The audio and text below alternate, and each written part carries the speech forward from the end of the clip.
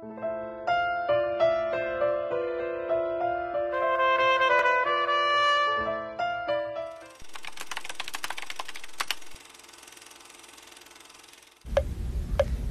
我，你先说。我以为会是比利人，幻想过是金城武。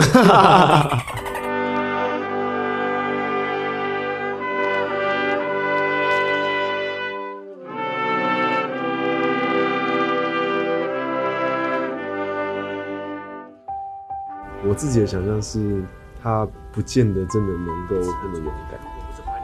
在那个时候，他其实根本没有办法想象之后的世界长什么样子，所以他究竟还有没有那么多的勇气去面对接下来的每一个生活跟每一个不公平的对待？然后后来知道是戴立远大宝哥的时候，真的谢谢有他，他演出的阿汉完整的整个张家海。在还没开始拍的时候，他跟我说：“对。”我年轻的时候比你帅。是要在补习班教英文吗？还是你想要什么职业？本来是开厨的，现在没办法搞。会计师薪可以啊，他没有，我只在刚某些公司积极上的，一个月三千块。一开始在对戏的时候，我就有一点紧张，跟大宝哥。但后来我觉得他好厉害哦，他光声音就已经让人家很入迷。他还刚跟我讲说，我跟你讲，我找人家客串没有在开玩笑。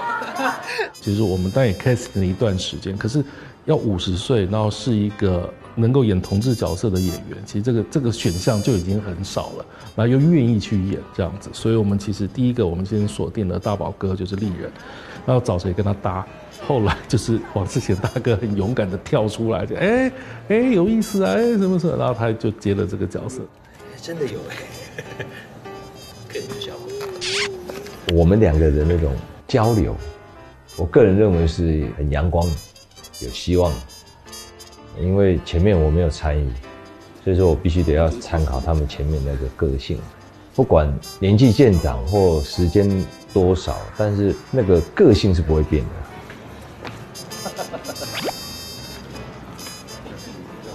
你刚刚不觉得事情跟他很像吗？不行动的话，对啊。我走路真的跟他很像。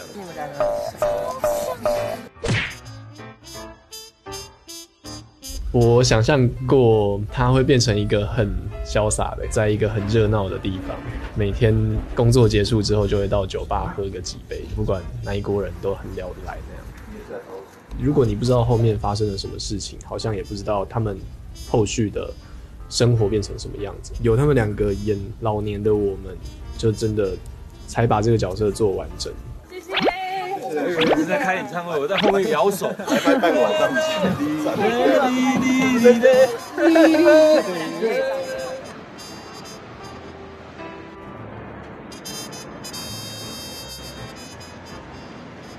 今天呢，我们来到了尼加拉瀑布。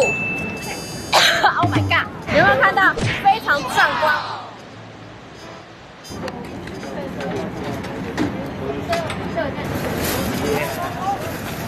包成这样，结果我们要下去。然后我什么都没包，我居然要下去。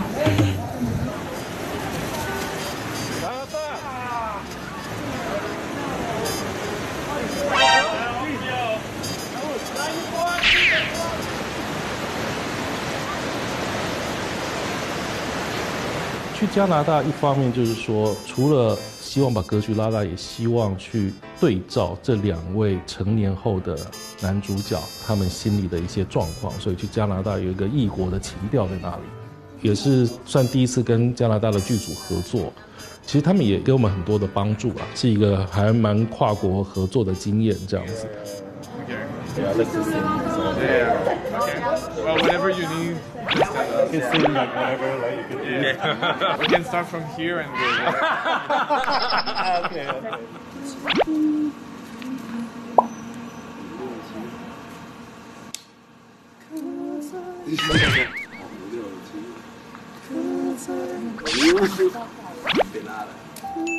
去。澎湖跟去加拿大拍戏是我最难难忘的时候。重点是我们最后一天看日出的时候，那个日出超美，嗯，超级美。他们走在加拿大的街上的那个样子，其实就很像一个日常，就是你会真的相信这两个人在这里，然后发生的所有事情。嗯，那我觉得如果现在真的有张詹跟 Birdy，我真的希望他们能够看到电影，跟他们能够一直记得这个这个刻在心底的这个回忆，的样子。